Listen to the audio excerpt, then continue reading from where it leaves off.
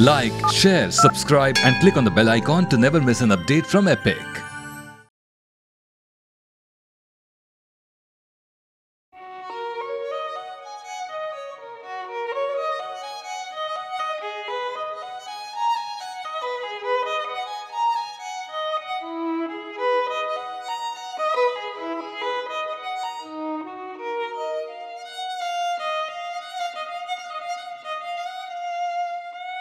Injection लगाने का मुझे बहुत डर था। फोबिया बचपन में हर जगह और दूसरी फैमिलीज़ में, राजपूतों में कान छेदते हैं। तो एक वो कान छेदने वाला आया I think I was nine ten brother तो ईयर अब वो उस टाइम कान छेदने दूर से थी वो पहले ड्रिल करके छेदते थे, जैसे दांत भी निकालना हो तो कितनी तकलीफ़। अब मैं डरा। मैंने कहा, ये तो मेरे अब वो ब्रदर से तो करवा लिया। फिर मैंने कहा छिपूँ मैं कहीं छिपूँ तो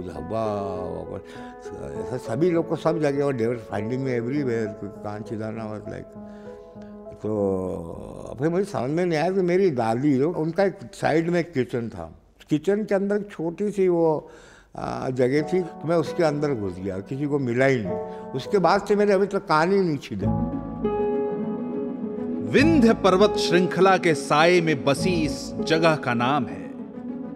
झाबुआ जो जीता है अपनी परंपराओं के साथ, जिसमें है आस्था की शक्ति और स्वाद अतीत का भी, वर्तमान का भी। ये कहानी है झाबुआ के राज परिवार की और उनकी सदियों से सहेजी हुई विरासत की।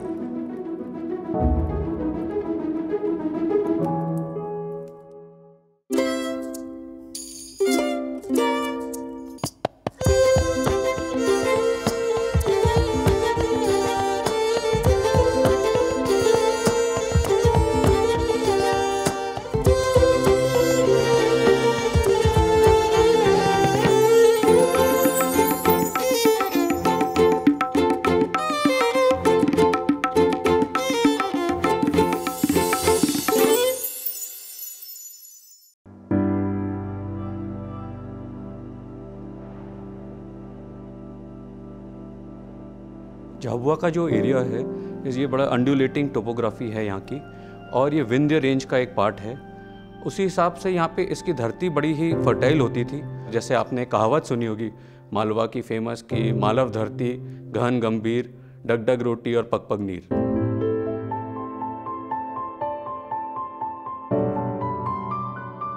झाबुआ के रियासत की स्थापना पंद्रह में केशवदास जी ने की।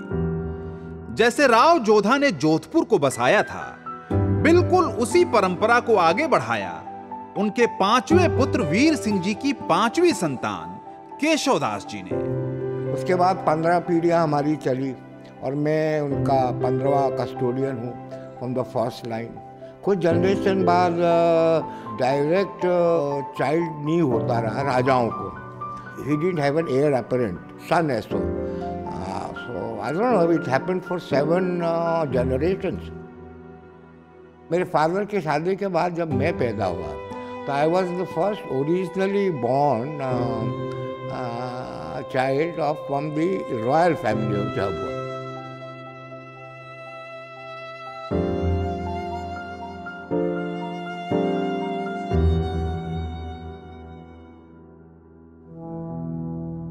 हमारे झाबुआ के सबसे युग पुरुष जिसे माना जाता है, वो है महाराजा दिलीप सिंह जी। उनका शासन बड़ा छोटा था। उनने अपने तेरह साल में जिस तरह से झाबुआ का विकास करा, वो that was beyond I mean he was a bridge between the medieval Jhabua and the modern Jhabua. और उन्होंने बहुत सारी बिल्डिंग बनाई, उन्होंने रोड बनाया और स्कूल और शिक्षा की लाइन और हॉस्पिटल पुलिस के स्टेशन कोर्ट्स क्लब और जो झाबुआ का, जो अभी खास राजवाड़ा का, जो अभी जो सबसे बाद में बना और जो अभी सिंबल है नगर पालिका का, वो सब दिलीप सिंह जी की देन है।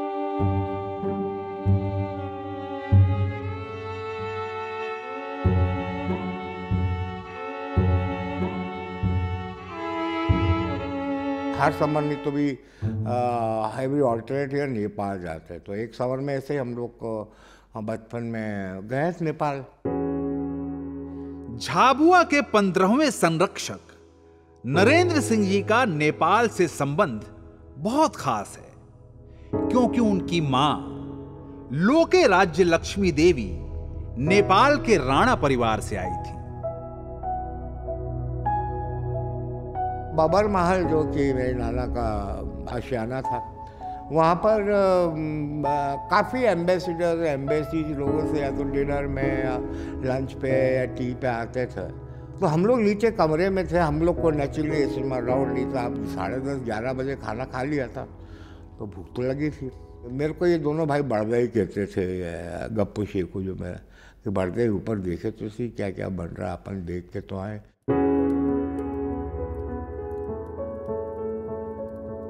और जो डाइनिंग हॉल था, जो फॉर्मल, वो हमारे कमरे के एकदम ऊपर था। बस एक सीढ़ी चढ़नी थी तो हमने सब ढक्कन खोलने चालू करी और एक बम्बई सन भी दिखा। अब हमें उस टाइम क्या मालूम कि भूख लगती है और आप कुछ चीज़ देखते तो और भूख लगती तो our hunger and our craving for food become insatiable and we control our तो एक हमने खाया एक एक करके हम पूरा ख़त्म कर दिया, बोले, अब क्या करें? तो शाम को मेरे माता पिता आए, उनका कमरा पास में था तो वी ओवर हर दम से कि एक गजब हो गया। आपके बार पहले बार मादर सेट के बबर महल में एक पूरा डिश खोला और खाली निकला। देखो ये नौकर my grandfather I suppose servant has forgot to put that particular dish in the वो तो उनको बहुत डांट पड़ी, बेचारों को बहुत बुरा हुआ। हमको हँसी भी आए, डर भी लगे। खोए से बनने वाली इस नेपाली मिठाई का स्वाद इतना असरदार है कि बम्बईसन का एक पूरा डब्बा गुल कर देने वाली वो घटना आज भी नरेंद्र सिंह जी की आँखों के सामने घूम जाती है। जैसे ही ये मिठाई उनकी ज़ुबान को छूती है।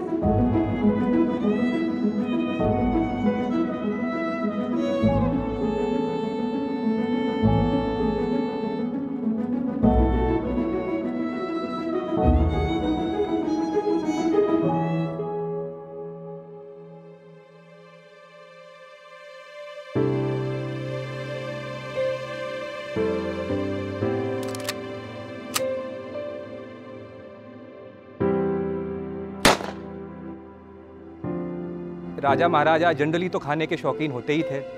तो जहाँ भी ट्रैवल करते थे, वहाँ के रीजनल कुक्स को वो हायर कर लेते थे, अपने पास रख लेते थे। तो हमारे घर में भी ऐसा ही हुआ, काफ़ी कुक्स आए बाहर से अलग अलग कम्युनिटीज़ से अलग अलग रीजन से तो उनके काफ़ी डिशेस आज भी हमारे घर में बनती है।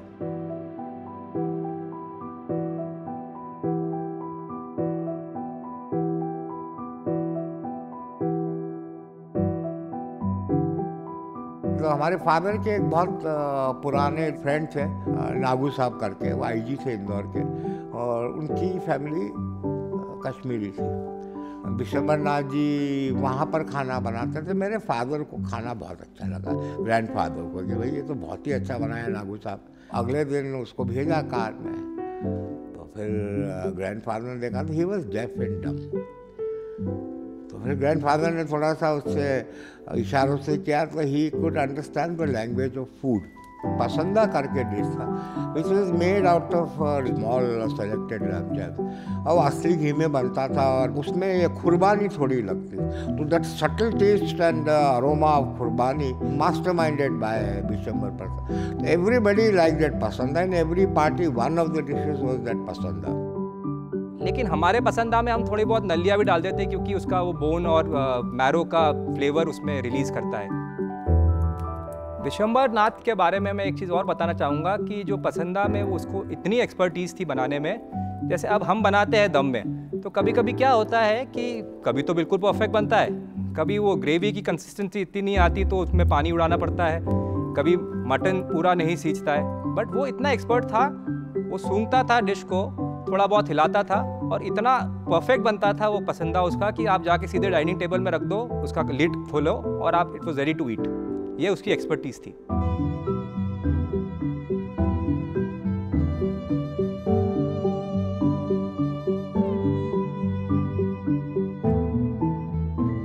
फिर एक दिन क्या हुआ कि डिनर के दिन मैं ऐसे नीचे गया था। तो मैंने जाके चखा वो पसंद आया कुछ दूसरा तो उसमें जो सोचा था वही चीज़ कम निकली। थोड़ा नमक कम था तो मैंने कहा नमक कम। उसके बाद उसने जब भी पार्टी करी, मेरे से फ़ूड टेस्टिंग करेंगे at the age of eleven है। मैं is to not pass it but I to say कि नहीं, कम है, ज़्यादा है इफ़ एट ऑल परफेक्ट हो तो परफेक्ट है but he would take my word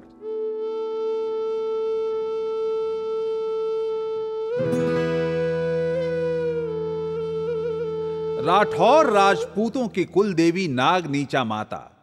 आज भी विराजमान हैं झाबुआ के 400 साल पुराने मंदिर में। झाबुआ का राज परिवार नवरात्रि के दौरान रीति रिवाजों के साथ उनकी पूजा करता है और नवरात्रि के आठवें दिन उन्हें लगाया जाता है भोग नवेद की थाली का। पहले तो बकरी की बलि होती थी बहुत सालों तक फिर जो हमारे गोर्धन नाथ जी के गोस्वामी जी थे, उन्होंने मेरे परदादा महाराज दिलीप सिंह जी को बोला, और क्योंकि आपको किसी की हत्या करते हो, आप तो उनको बुरी तो उनने उनको कन्विंस करा कि आप उसकी जगह कद्दू को करिए। As a symbolic gesture of the bali we do कद्दू की बली ऑन द अष्टमी डे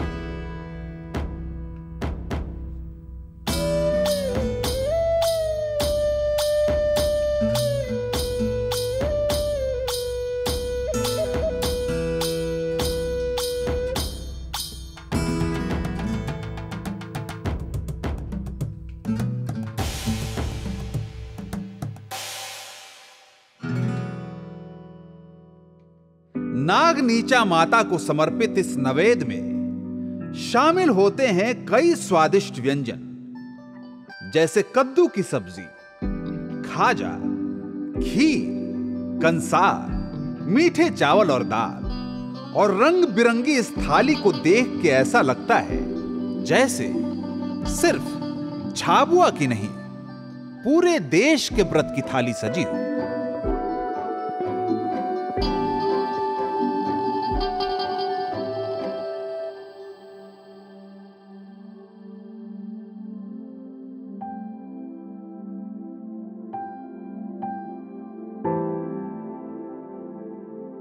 ये भी एक कारण रहता है कि नवेद का कि क्योंकि आपको सात दिन की, आप आठ दिन की पूजा करते हो तो आप उसमें उपवास रखते हैं सात आठ दिन का। जब नवेद की थाली आती है तो आप उसकी तरफ़ आपको और इच्छा होती है आपकी खाने की क्योंकि इतने दिन से आपने तप करा हुआ है और उस तप का आपको एक तरह से प्रसाद मिल रहा है।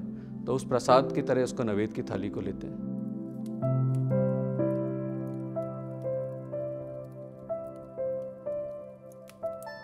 मेरी नानी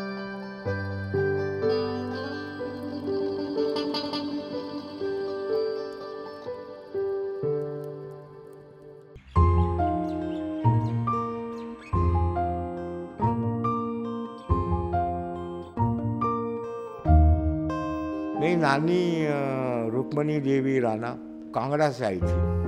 शादी करके नेपाल मेरे ग्रैंडफादर के पास बबरमल में। उनको खाना पकाने का जैसा हर घरों में पर उनके हाथ में एक जो होता है जादू तो नहीं कोई है, इनके हाथ में ही खाने तो तीन चार उनकी डिशेस सिग्नेचर डिशेस थी। जैसे मेरे ग्रैंड मदर की काफ़ी डिशेस स्पेशली नेपाली डिशेज अभी भी बहुत सारी मेरे घर में बनती है। बट एक डिश है जो उनकी मदर ने खुद ने इन्वेंट करी थी।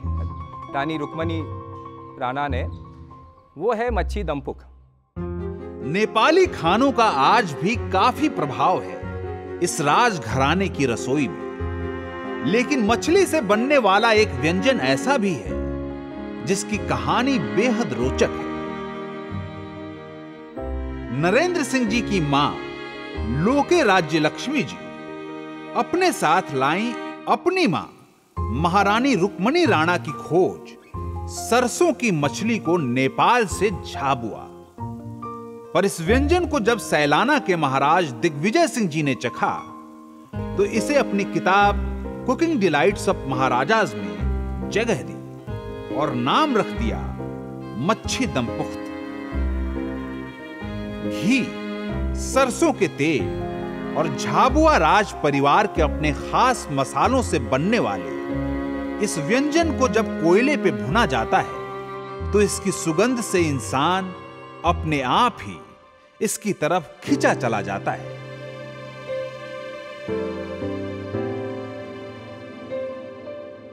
मेरे दो बेटे हैं।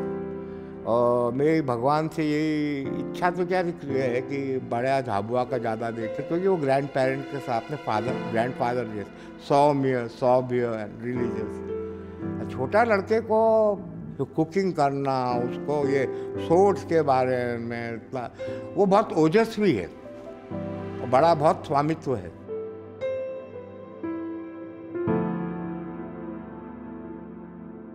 जब मैं घर में देखता था, मेरे ग्रैंड मदर को, मेरे मदर को, मेरे दोनों काकियों को खाना बनाते हुए, मैं सरदम सोचता था कि मैं भी एक दिन खाना बनाऊँगा। लेकिन पता नहीं क्या हुआ कि मेरा खाना बनाने की जर्नी बड़ी देर से चालू हुई। मैं अपने थर्टीज़ में आ गया था जब मैंने खाना बनाना चालू किया। मेरे को याद है कि मेरे वाइफ जब हमारे पहले बच्चे को एक्सपेक्ट कर रही थी, एक दिन उनको पता नहीं क्यों मटन खाने की क्रेविंग हुई और उस दिन घर में वेजिटेरियन खाना बना था। तो मैंने बोला, यही मौका है। तो मैंने जो भी सबसे सिंपलेस्ट मुझे रेसिपी मिली, वो मैंने मटन बना दिया और ठीक ठाक बना। बस उस दिन के बाद में there was no looking back मैं सीखता गया सीखता गया नई नई चीज़ें बनाता गया। और जब से मैंने कुकिंग चालू करी है, वो एक मेरी ज़िंदगी का बहुत ही महत्वपूर्ण हिस्सा बन गया है। मैं अगर स्ट्रेस में हूँ तो मैं कुक करता हूँ, मैं अगर खुश हूँ तो मैं कुक करता हूँ। और एक और चीज़ मैं बताना चाहूँगा कि मैंने आज तक अपनी ज़िंदगी में पूरी एक कॉमिक बुक भी नहीं पढ़ी होगी। मुझे पढ़ने का बिल्कुल शौक नहीं है।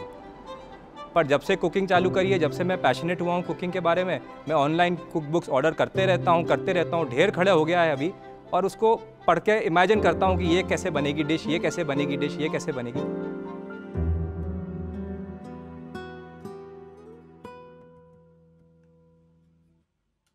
बहुत सी खूबियों वाले झाबुआ की इस रियासत का सुपरस्टार तो एक ही है और उसका नाम है कड़कनाथ।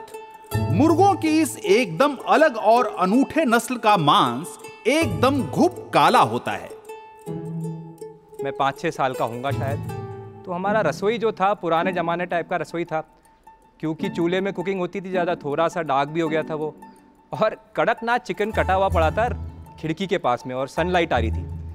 उसका टेक्सचर ऐसा था स्किन का, मेरे को लगा कि सांप काट के रख दिया हो यहाँ पे, जो किंग कोबरा होता है ना ब्लैक कोबरा होता है आपका, वो काट के रख दिया हो। तो वो मेरा सबसे पहला एक्सपीरियंस था कड़कनाथ का।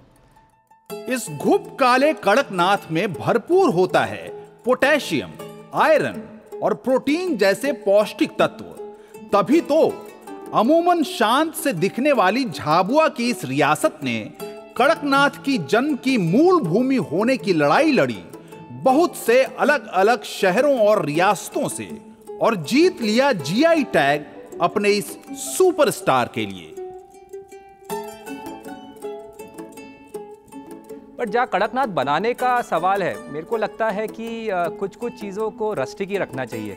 आजकल ज़रूर बहुत सारे रेस्टोरेंट्स इसमें कॉन्टिनेंटल डिशेस भी बना रहे हैं बट मेरे जहन में कड़कनाथ बनाने का तरीका है। वो अभी हमारे घर में तो एटलीस्ट वही देसी तरीका है, जिसमें तेल भी ज़्यादा डलता है, मसाला भी ज़्यादा डलता है, मिर्ची भी ज़्यादा डलती है, भुनाई भी ज़्यादा डलता है, होता है।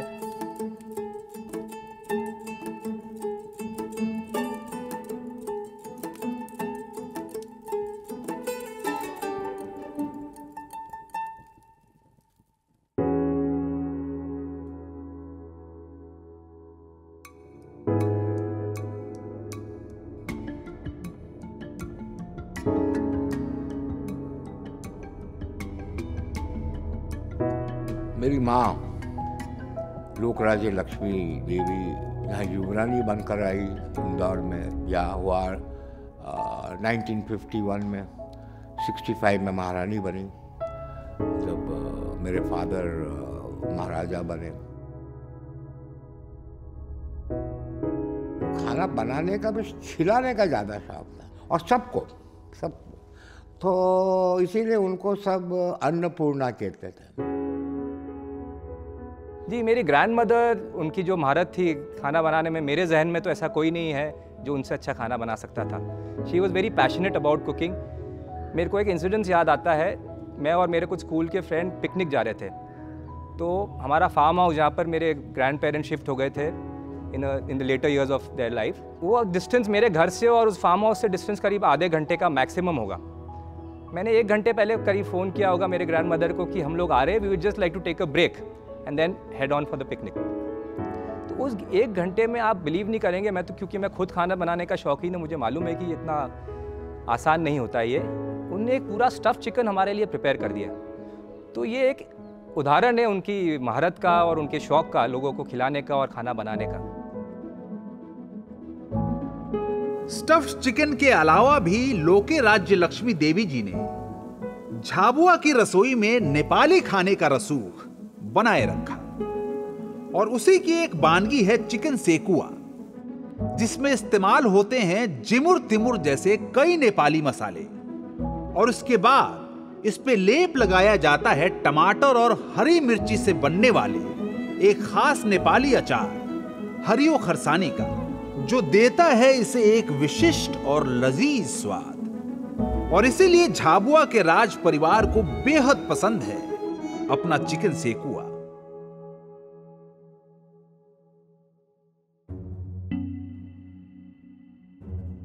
मेरे मदर सिरोही एक जो रियासत होती थी, मेवाड़ और मारवाड़ के बीच में, राजस्थान में।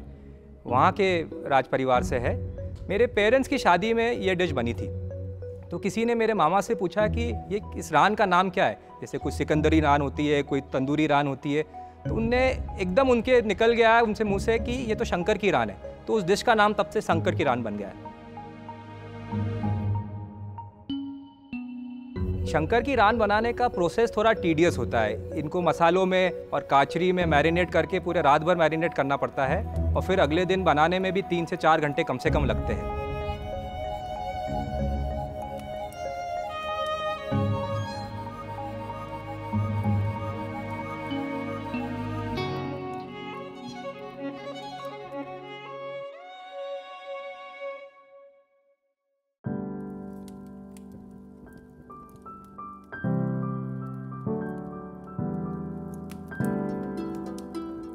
Talking about foods and cooks राजा और रसोई बिसाइड्स दीज कुक्स जिसके बारे में अपने बात भी also had a Christian cook who was based in Jhabua he use to make continental food पर उस जमाने में more than the new year eve Christmas का बहुत ज़्यादा रिवाज था। He use to make typical roast turkey with potato. So we used to enjoy having that. The Roast chicken was one of the best I've ever had, then and now.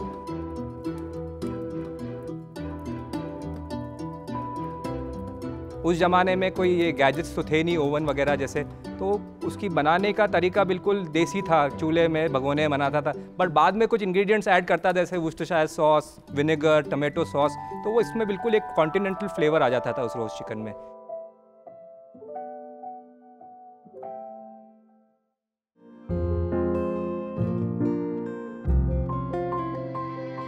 ज़िंदगी के हर पहलू और पड़ाव का जश्न मनाने वाले, झाबुआ के लोगों की ज़िंदगी में त्योहारों और उत्सवों का बड़ा खास महत्व है। झाबुआ का सबसे प्रसिद्ध त्यौहार या उत्सव आप जिसे कहेंगे वो है भगोरिया। वो एक तरह से सिंबॉलिक हो गया है आदिवासी कल्चर से और झाबुआ से जैसे सबकी फ़सल कटती है और सब उसको सब उसको एक तरह से इंजॉय करने का टाइम है।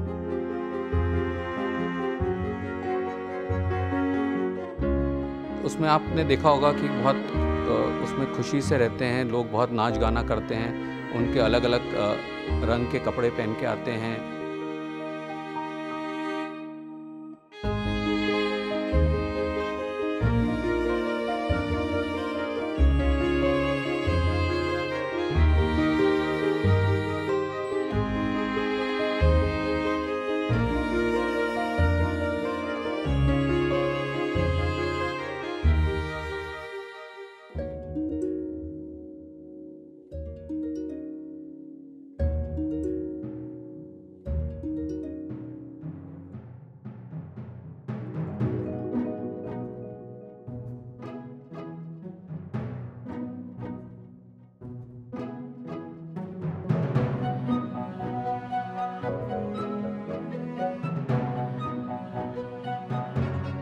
best time, if you recollect, is your school days. Your best friends are still from school days. School is called your alma mater. Alma mater is a Greek word next to a mother. So you got to love it. Give it back. So what it had to give you, it gave you during your uh, school times. Our families have been uh, associated right from its uh, being built to now. Uh, it started with my grand grandfather and my grandchildren are studying there. मेरी ही नहीं मेरे ख़ानदान के पिछले पाँच छः generations वहीं पढ़ते हुए आए हैं। ये स्कूल 150 साल से भी ज़्यादा पुराना हो गया है अब। आप अगर पुराने स्टूडेंट से पूछोगे जो 60s 70s में पढ़ते थे वो जब भी डेली कॉलेज आते हैं वापस ओल्ड ओल्ड एलियंस जब भी वापस आते हैं डेली कॉलेज के समोसे को आज तक नहीं भूल पाए। और डेली कॉलेज ने अपने समोसे का स्टैंडर्ड आज तक वैसा का वैसा रखा है। अतीत और वर्तमान के बीच रिश्ता कायम करते। इस डेली कॉलेज को वैसे तो अपनी बहुत सी खूबियों के लिए जाना जाता है, लेकिन डेली कॉलेज का असली आनंद छुपा है इसकी रसोई में, जहाँ हर रोज बनने वाला खाना भी किसी शाही दावत से कम नहीं।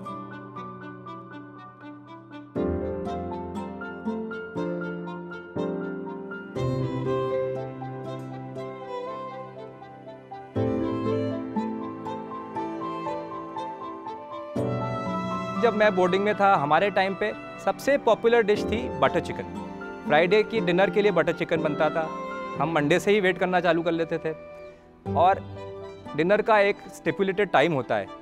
लेकिन हमको मालूम था कि आपका बेल बजी डिनर की ग्रेस हो गया। उसके बाद भी जितने निवाले एक्स्ट्रा खा सके हम बटर चिकन के खाते थे। ये भी मालूम था कि जब हॉस्टल पहुँचेंगे वापस लाइनअप में लेट होंगे तो प्रीफेक्स हमको फ्रॉक जम देंगे देंगे। बट वो मंजूर था उन कुछ एक्स्ट्रा निवालों के लिए।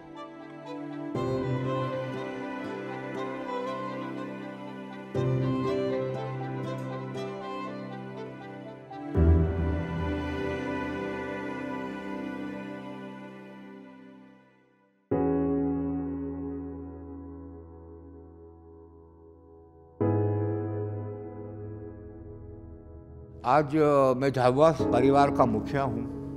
ये मेरा सौभाग्य है।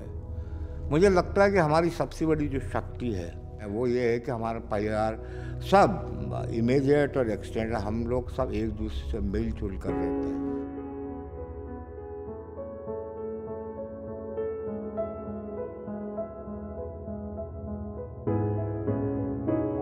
We feel very privileged and proud of the fact that uh, we are a part of a legacy which is 400 years old and now the 15th generation as the head of the family. My father and we are able to perform the duties which have been performed by, our ancestors, whether it being carrying out uh, the food traditions or the religious traditions or being in touch with our extended family there, being a part of the, the happiness and the sadness of the people of Jhabua and also that uh, we're able to keep the uh, flame uh, alit for so many years and be a part of this journey. And we hope that uh, our future generations are able to carry on the same way.